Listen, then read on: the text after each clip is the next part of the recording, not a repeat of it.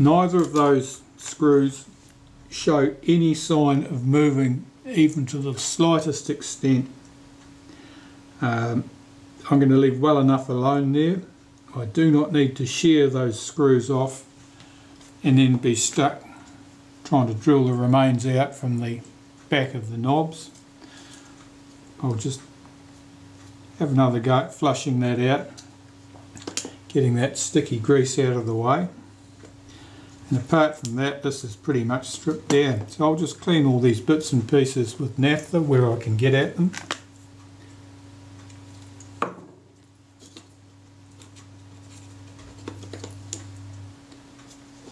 You can see there's a fair bit of old grease and rubbish there.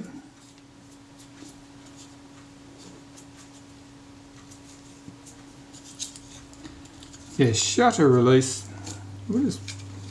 Wipe around the stem of that see how that behaves. It's certainly behaving better. Yes, there's just sticky old oil there really is what it amounts to.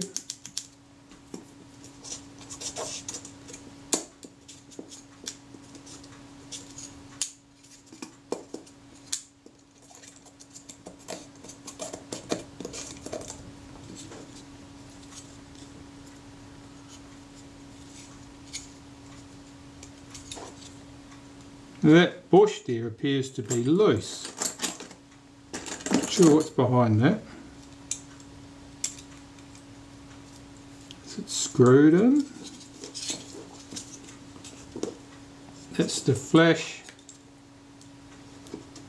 the bush for the flash contact. Is it only held in with the leather that's glued to it?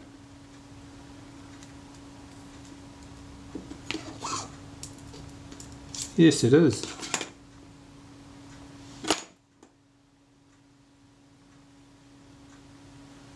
Well, well, well, that's odd.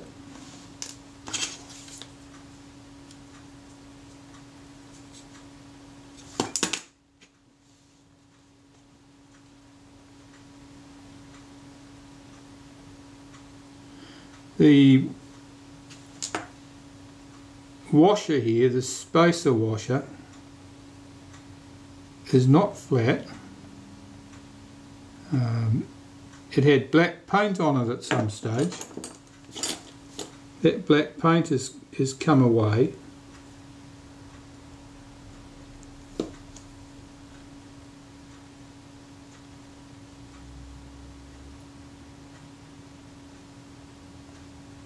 I don't know whether that's intended to act like a wavy washer or whether it's a spacer that's somewhat abused. It's certainly not flat, I think it's just been abused. This is just a curl of paint from it. This looks like it's been out of position and it's been abused.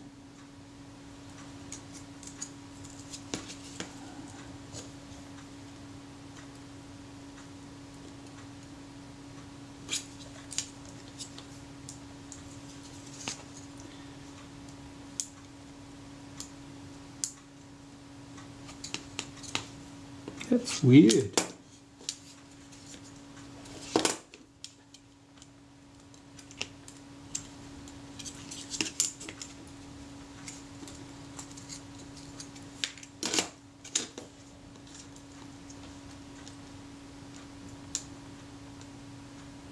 It's not even especially round, it doesn't even fit neatly around that boss.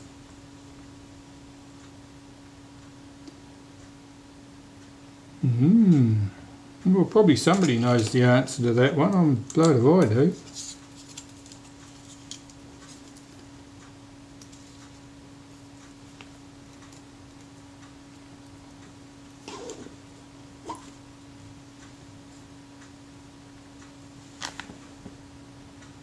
No, that's one of life's mysteries to me.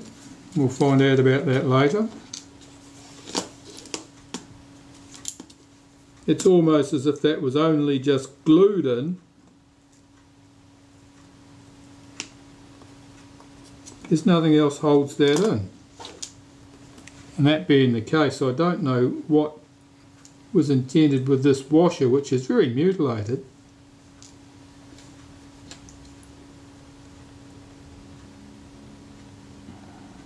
It served as a spacer of some sort.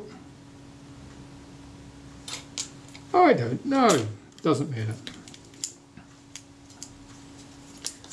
I'll check the action of the shutter release. That's what I was more concerned with because the shutter release needs to move smoothly. You don't want to be have shutter releases that are stiff to release otherwise you know you can you're not holding the camera as steady as you otherwise might. Needs to release with very light pressure. Okay, that looks pretty good anyway. I'm just going to clean out the hole in the middle of that shutter release because that's where the pin goes. Now the pin is what would be activated by your cable release. So the pin that sticks out of your cable release would press on the pin in here and press the release on the shutter mechanism. And of course that pin is sticky and it, it didn't fall out. I've got no special reason to believe that it would have moved smoothly with a cable release either. Yeah, it's certainly moving nicely now. Yeah, that's better. See, that just fell out. That's how it should have worked. There should have been no friction there at all, no measurable friction. You're going to clean that socket that's where the cable release would screw in. And that's just to remove that grime because the dust that settles down in there would um, you know effectively make the action stiff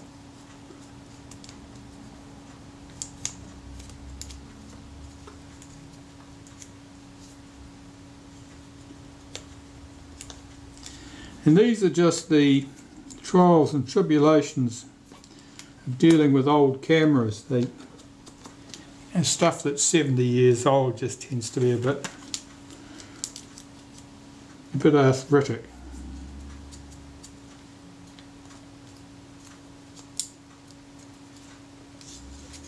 Yeah, that flash contact, that's weird.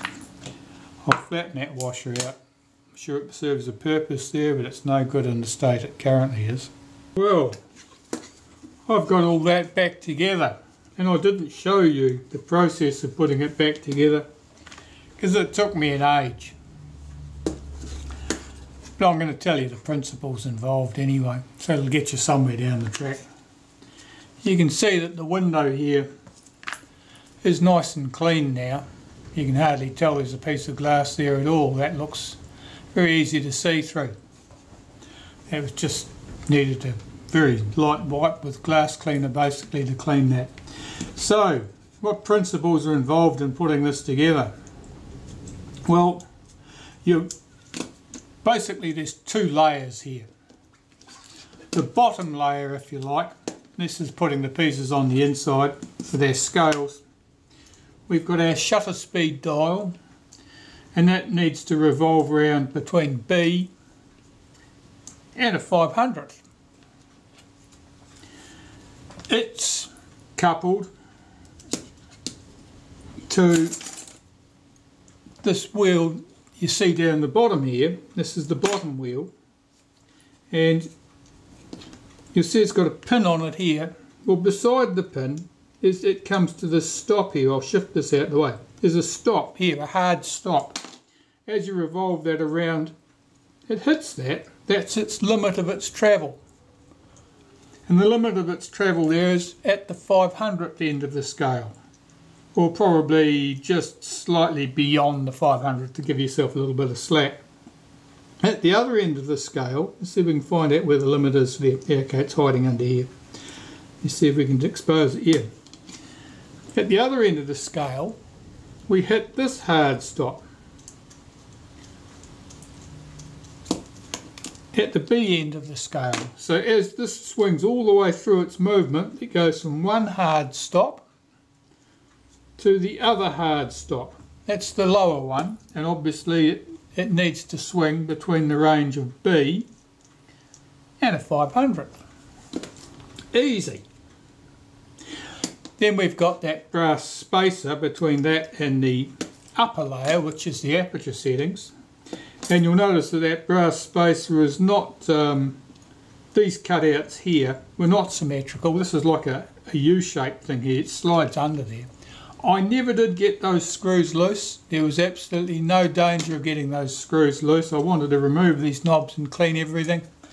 Absolutely no chance at all. I tried everything I knew, short of uh, so much brute strength that I would be absolutely certain to shear the screw off. I tried heating it with a soldering iron. I don't know what's binding those screws on there. They don't come off. Regardless of that, I flushed it out as well as I could. They're good. Anyway, back to where I was the upper set one here. Now that's the aperture settings. Let's get this out of the way. Likewise here, there's got a pin underneath it, comes up against that stop at that. And in the other direction, it comes up against this pin here, that stop. That needs to cover the range of F22 at one end to f3.5 at the other.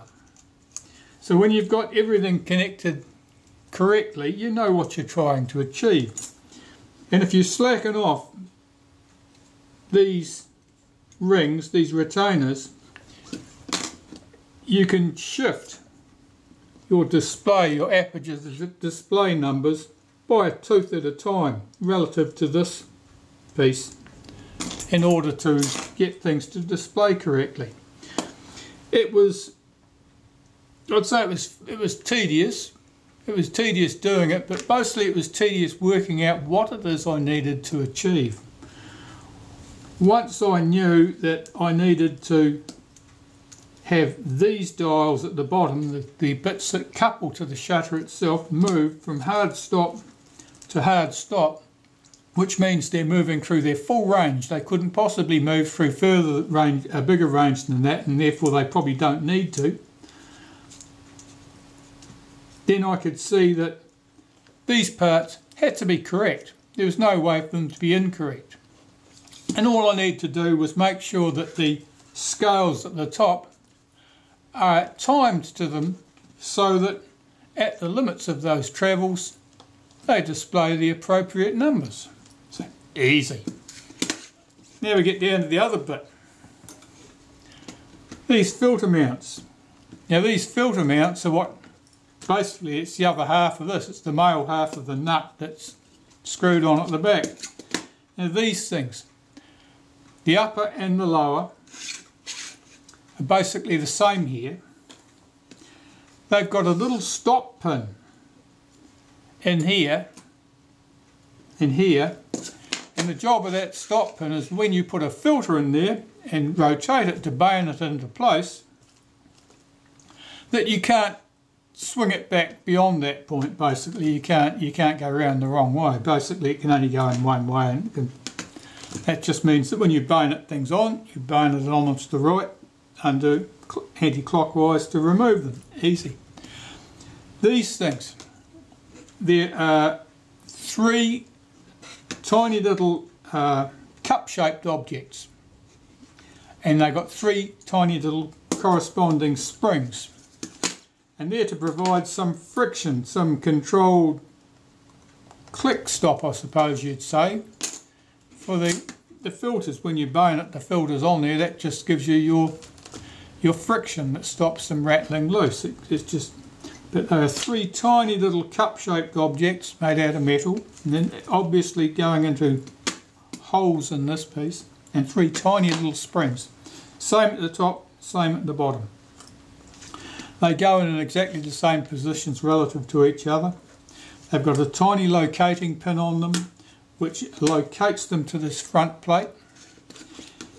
They'll only go on in one direction, in one position, and very tedious putting this together. You could spend half a day at it and still wonder whether you've quite got it right. But basically, that was it. That's it done. The shutter release, as you can see, I've got that nice and clean. If I swing the the latch out of the way, the shutter latch that stops you accidentally depressing the shutter, it just drops under gravity now. That's nice and loose. So that was my shutter button that was a bit sticky. It's no longer sticky. That's the front panel basically dealt to. That would be ready to go back onto the camera once the shutter and so forth has been fitted back. But there's no danger I'll be fitting the shutter back anytime soon because first of all I need to deal with the camera body. With the camera body there's probably multiple things I need to uh, do to this but my most pressing uh, concern here is the state of the focus mechanism.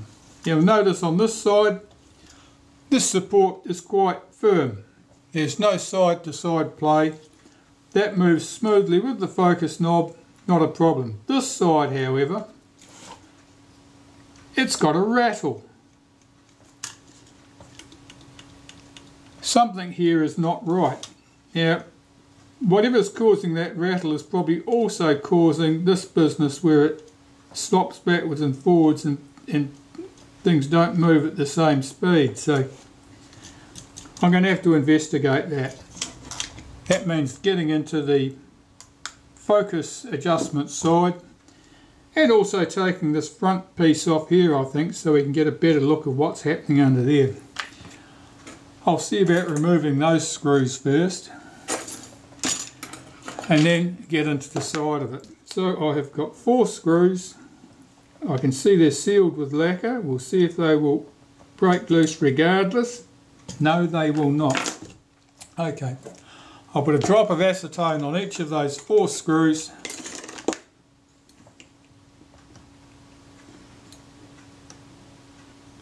Leave that to uh, soak in a bit come back, see if those screws will come out. Well, two minutes later, the uh, solvent, the acetone has melted that lacquer, those screws came loose. Let's have those out.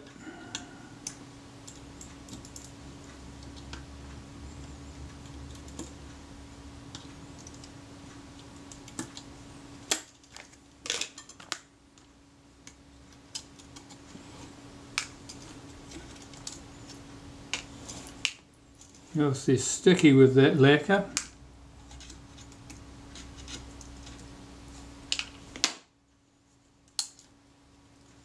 This should come off. Oh, my uh, film advance is dragging on it there. Will this lift off? I expect it will.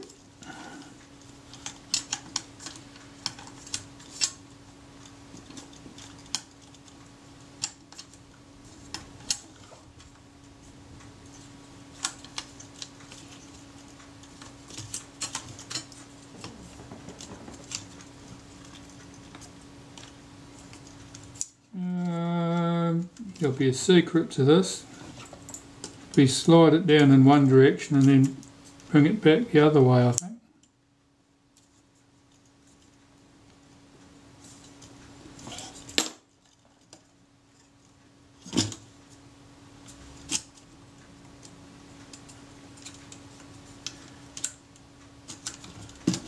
Yeah, my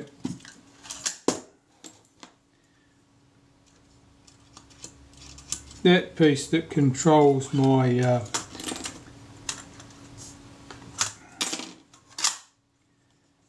controls oh here we now we're, we're cooking with gas. Is this to go? Yep. Can't say I like the construction of these things all that much. It's a bit of a uh, a wriggle to get that on. I think they could have designed that a bit better what does this disclose? Anything useful? Well, I've got a bit, bit more of a view of what's happening with the uh, focus adjustment. Probably not enough to do anything useful with that information though. I'm still going to need the side off here. So, next, get the side off. I'll start at the top here, we'll lift this thing off. It looks to me like we've got two screws there holding that strap in place. That must be some sort of step screw, is it? Yes, it's got a shoulder on it.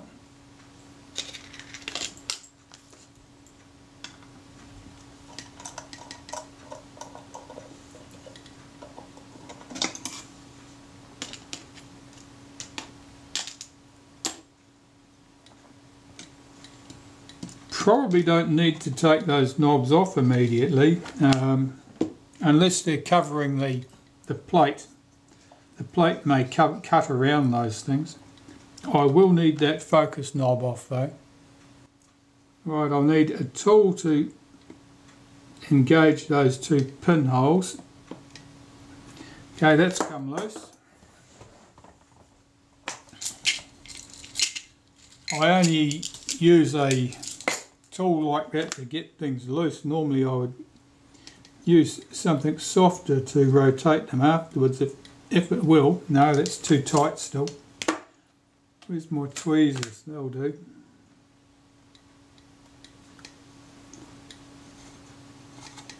This is just a cover.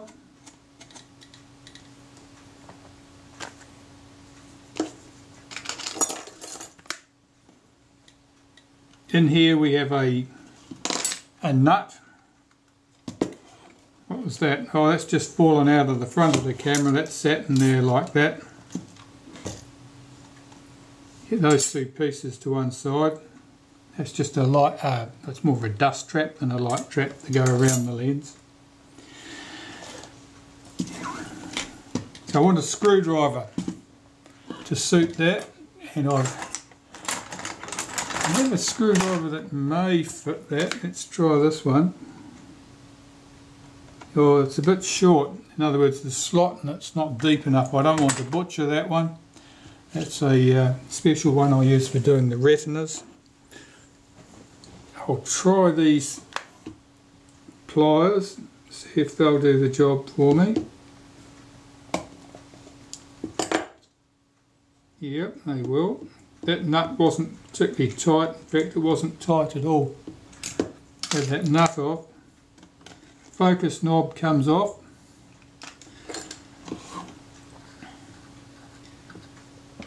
This uh, depth of field scale there is part of the metal side of this. I need to get the leather up next. and we'll want all the leather off here see if it'll lift unfortunately the leather looks to be stuck down very very well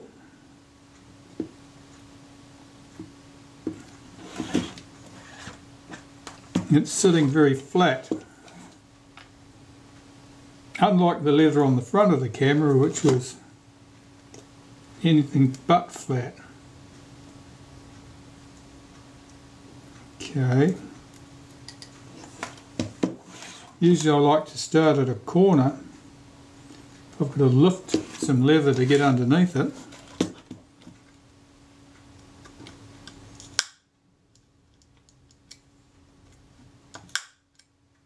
Yeah, it sounds to me like I'm catching on the edge of the cover plate there.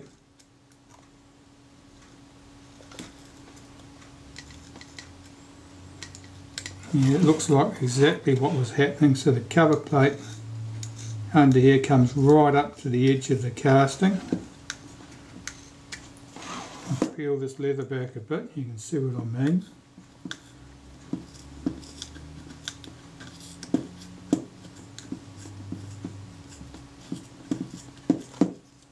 Alright, in here, that's the cover plate that we're going to have to lift off in order to get at things.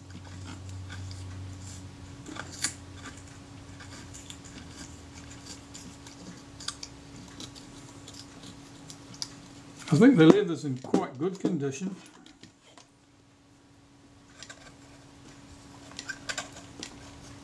It doesn't seem overly fragile. It doesn't seem to be delaminating to a great extent. I think I can get this off with minimal amount of damage. None with a bit of luck. Got to watch it, see how thin it is at that edge. Very likely the leather will fracture at that point just because it's such a, a narrow piece of leather. Probably going to give up the ghost when I start peeling it. I'll have to work back to that point from both sides. I really want that to be the last piece of leather that I lift. I've got a big piece of leather flapping around with just a thin section like that holding it down, it, it'll it won't go well.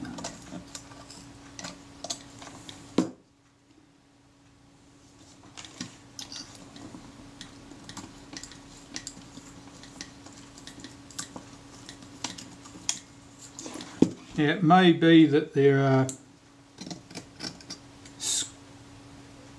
screws around the outside in certain places and if you knew where to get them you'd peel up the leather at those points. And that would be enough. But generally speaking if you want the leather to look good afterwards you're best to get all the leather off. Not just some of it. Not just peel back a little bit to get to screws but to lift the leather completely and stick it back down again completely, you're much more likely to get leather that lies flat and looks neat than if you peel up a section and then try to stick that section down.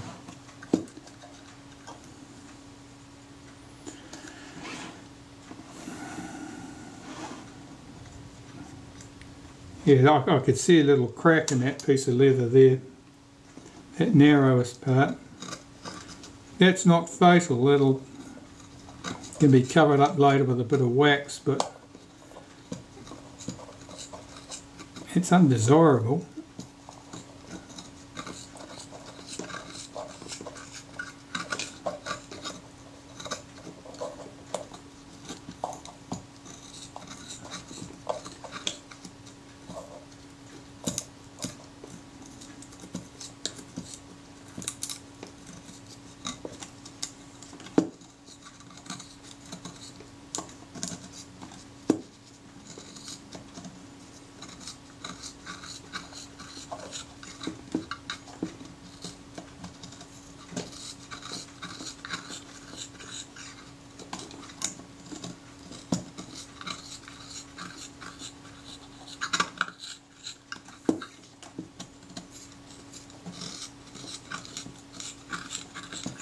As you can see I'm sort of uh, sliding the scalpel in underneath some of the leather. And then I'm twisting the blade slightly which levers up the leather. So the next piece is lifted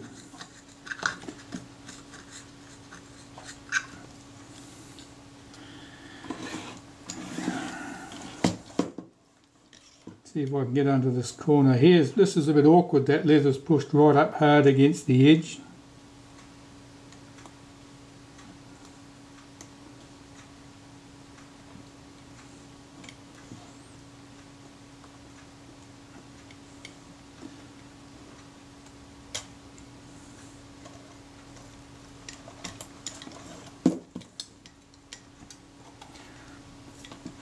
When the leather is, in a recess like this, it's effectively glued at its edge as well as glued underneath.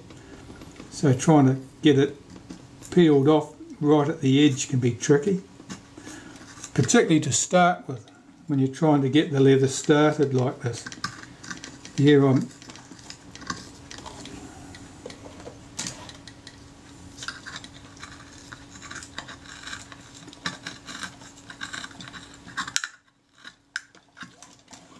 Okay.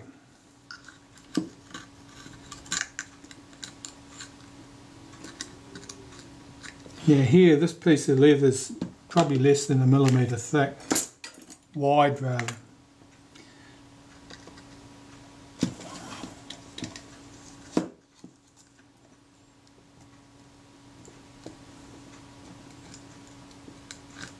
Okay, I've got it off. You see how thin that leather is there.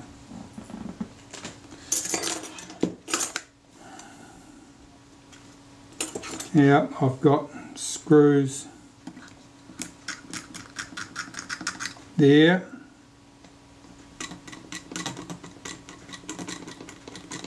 There. there, there. Less certain about that one, that might come right through the surface. There's one here.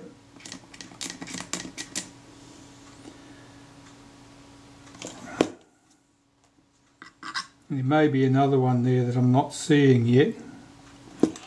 There's got to be something up here at the top. Yeah. I'm not seeing it. I would expect there to be one here, but I'm not seeing anything. Alright, I'll uh, work on that anyway. I'll change this battery.